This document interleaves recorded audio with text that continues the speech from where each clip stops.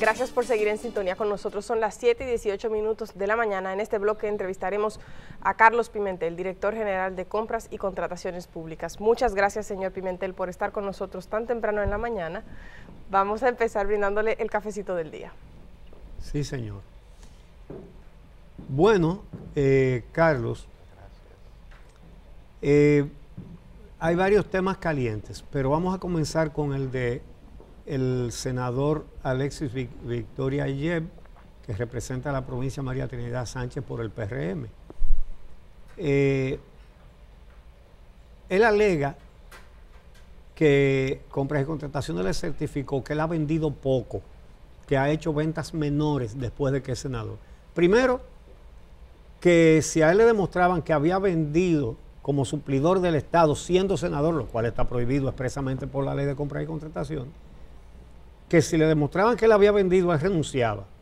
Entonces, compras y contrataciones, ustedes hicieron un informe diciendo creo que eran 14 contratos que se habían firmado después de ser senador y que eran compras menores. Entonces él dice que ya, que eh, él no renuncia, sino que eh, él violó la ley, pero poco. Digo, él no dice que violó la ley, pero si vendió, violó la ley. Entonces, por fin, la ley que dice que si es un chin nada más se vale. La ley de compras y contrataciones establece distintas modalidades de contratación. Están las licitaciones públicas, las licitaciones restringidas, las comparaciones de precio, están los sorteos de obra, las compras menores y las compras debajo del umbral. Esas son las distintas modalidades de contratación. Y la ley en su artículo 14 establece quiénes no pueden contratar con el Estado. Y cuando dice que no puede contratar con el Estado, es que no pueden contratar en ninguna de las modalidades de contratación que establece la ley. El senador Victoria Jet, a través de sus empresas en las cuales tiene participación accionaria, de más de un 10%, se registran en el sistema de contrataciones al menos 14 contratos de compras menores y compras debajo del umbral. La ley no establece o hace distinción con relación a si existe incompatibilidad porque la contratación sea de un peso o sea de 100 millones de pesos. Lo que queda muy claro en el informe es que el senador no debió nunca contratar con el Estado desde que asumió sus funciones de senador de la República. Ustedes, eh, la Dirección de Compras y Contrataciones, eh, ha dicho que eh, no lo someten porque él goza de inmunidad legislativa, pero la inmunidad es para el arresto, pero no para un sometimiento. Se puede someter y se puede juzgar. Sí, la, la ley 340 con relación al régimen de incompatibilidades establece sanciones que son de tipo eh, administrativa y un ente eh, del Poder Ejecutivo, que es una dependencia del Ministerio de Hacienda, no puede interponer eh, sanciones de tipo administrativo a un miembro de otro poder del Estado y mucho menos a un senador de la República. El régimen de incompatibilidad establecido en la ley 340 debe ser fortalecido, debe ser ampliado y por eso en el proyecto de ley que modifica la ley 340 hemos sugerido disposiciones que permita tener un régimen de incompatibilidad que se pueda hacer cumplir con mayores niveles de eficiencia, con mayores niveles de efectividad. Incluso uno de los elementos que hemos propuesto es que ese rango de la participación accionaria de un 10% sea eliminado. Nosotros entendemos que un funcionario de primer nivel no debe tener relaciones con el Estado, aunque tuviera un 1% de acciones, aunque no tuviera acciones, si tiene vínculos con las empresas. Estamos claros que el régimen de prohibiciones de la ley 340 debe ser fortalecido. Hemos incluido algunas disposiciones en el anteproyecto de ley y mientras tanto lo que estamos es haciendo cumplir las débiles disposiciones de la ley 340 para irnos acercando a un régimen mucho más robusto que pueda prevenir los conflictos de interés en las contrataciones. Bueno, y entonces, eh, en ese sentido, ¿han detectado ustedes a algunos otros legisladores, funcionarios del Estado o exfuncionarios eh, como suplidores del Estado? Sí, nosotros lo primero que hicimos fue hacer un cruce de las bases de datos de los funcionarios electos, senadores, diputados, alcaldes, regidores, y también de los funcionarios designados, ministros, eh, directores, eh, jueces. Y ese cruce eh, pues arrojó que unos 220 funcionarios que estaban en el régimen de incompatibilidad pues se encontraban en el régimen de prohibiciones y se procedió de manera preventiva a suspender su registro de proveedores. Nosotros sabíamos también que esa medida podía ser insuficiente y que era necesario eh, profundizar con otras herramientas, con otros mecanismos que nos permita llegar a lo que se conoce como beneficiarios finales o beneficiarios reales. Por eso el caso del senador Víctor Ayer nos coloca en otro eh, nivel, en otra etapa de eh, aplicar mecanismos para el régimen de prohibiciones. Porque lo que sucedió y por lo que no detectamos eh, la participación del senador Víctor Ayer en la empresa Dronelia se debió porque en esa empresa la composición accionaria era otra empresa, o sea, era una persona jurídica. Entonces, el sistema no nos aló, no nos detectó, no nos permitió identificar a esa persona jurídica vinculada a la persona natural que era el senador. Pero cuando profundizamos en la investigación y levantamos el velo corporativo, nos dimos cuenta que la empresa que estaba como accionista era una empresa que estaba constituida en Islas Vírgenes Británicas y que en esa empresa el senador tenía más del 99% de las acciones. Entonces, este hecho nos coloca ya en el camino de seguir desarrollando mecanismos e instrumentos para prevenir la participación de funcionarios públicos en el régimen de contratación, independientemente de si están eh, su participación accionaria, sea persona física, sea persona jurídica. Sabemos los límites que tiene la ley 340, tenemos que superarlos, pero mientras tanto tenemos que ir dando pasos para acercarnos a este nivel de rigor que va a servir para no solamente prevenir la corrupción, no solamente para prevenir el régimen de incompatibilidad, sino también que empezamos a desarrollar una línea de trabajo que está relacionada con la prevención del lavado de activos a través de las contrataciones públicas. Y para eso es necesario poder conocer con quién contrata el Estado, quiénes son los beneficiarios finales, quiénes son los beneficiarios reales, y por eso nosotros estamos en eh, avances en la interconexión de distintas bases de datos del Estado Dominicano como es la base de datos de declaración jurada de patrimonio, como es la información que posee la Dirección General de Impuestos Internos, como es la interconexión que vamos a hacer próximamente con la Cámara de Comercio, y así a través de eh, el ejercicio de interconexión de base de datos, el uso de ciencia de los datos, poder tener mecanismos mucho más eficientes de prevenir la corrupción, los conflictos de interés y el lavado de activos también. Pero el caso del senador no es el único que está en manos de compras y contrataciones, eh, señor Pimentel. Por ejemplo, está también el caso de Navíe, y si pudiese comentarnos de qué se trata el caso, eh, de cuánto es el monto eh, que se habría ahorrado el Estado de no haber incurrido en ciertas prácticas y qué tipo de irregularidades entraña. INAVIE es el Instituto de Bienestar Estudiantil, que es el que contrata el almuerzo escolar.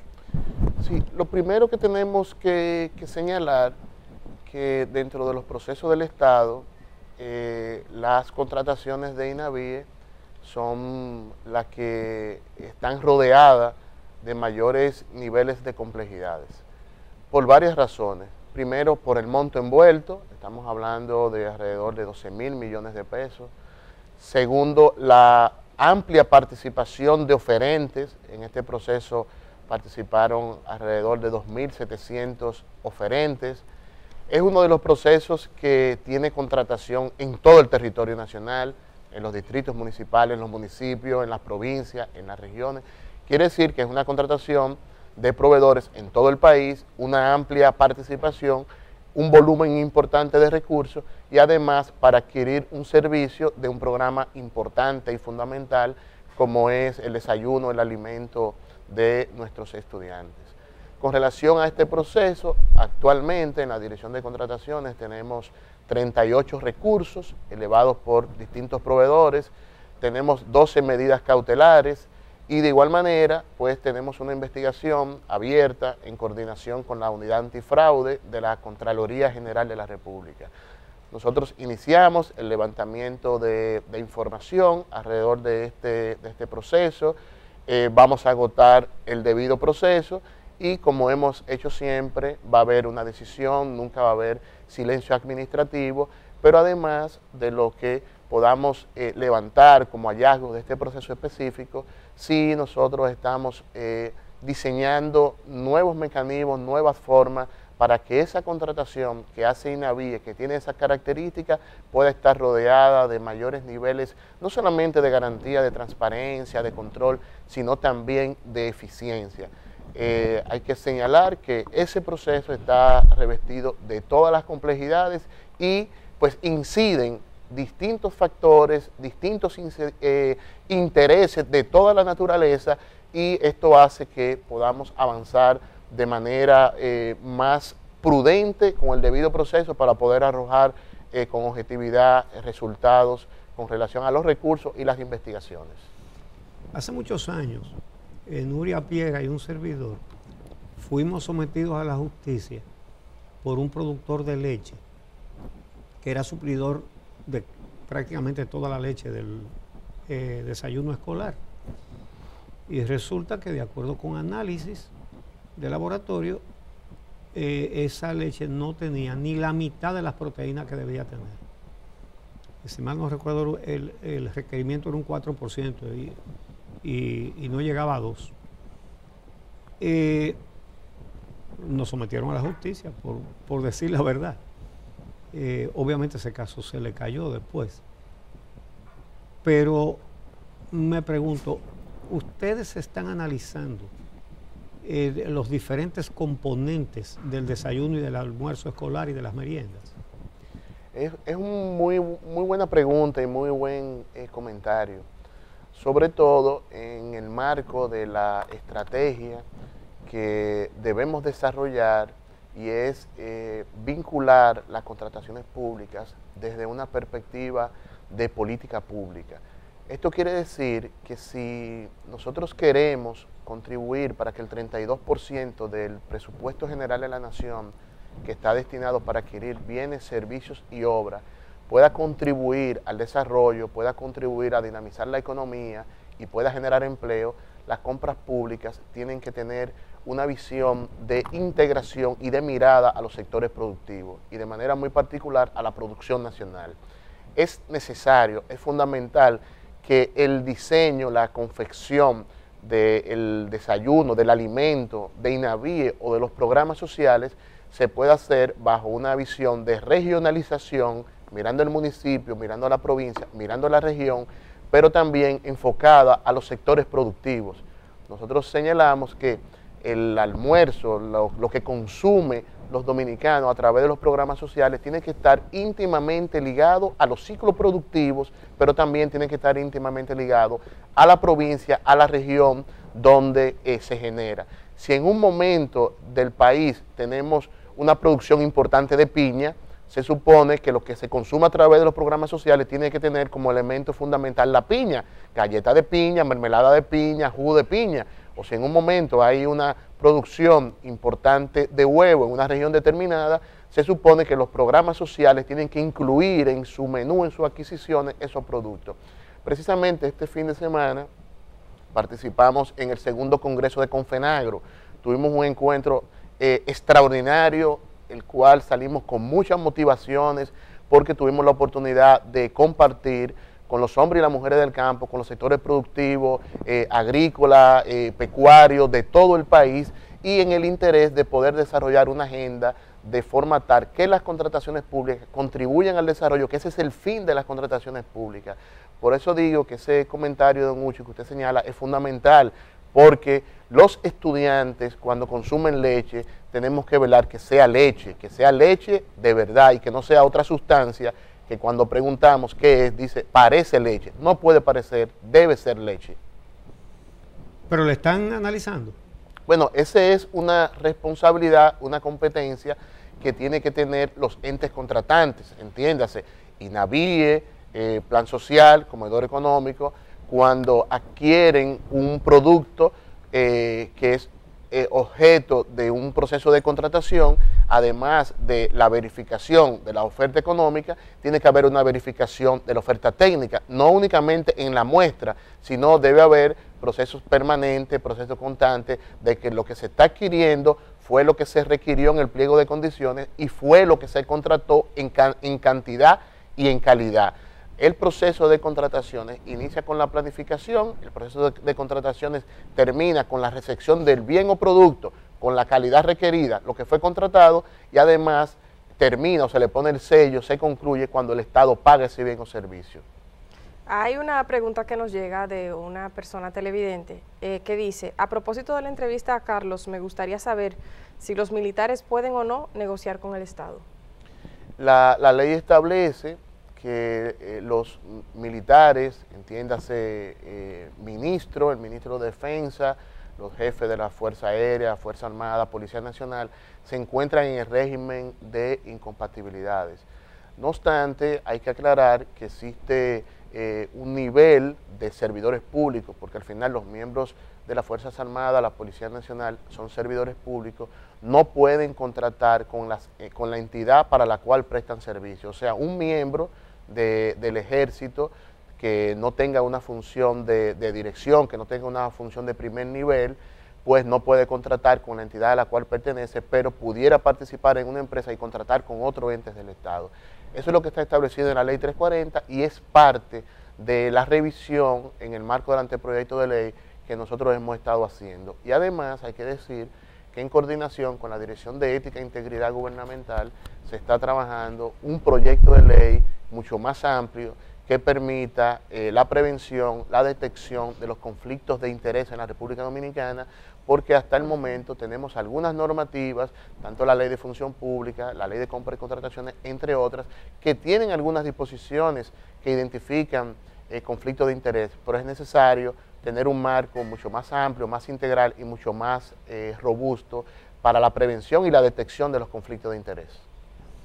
Bien, bueno, pues muchas gracias a Carlos Pimentel, director de compras y contrataciones públicas. Carlos, gracias por aceptar nuestra invitación. Gracias siempre, don Ochi. Bien, vamos, a, hacer ahora una pausa.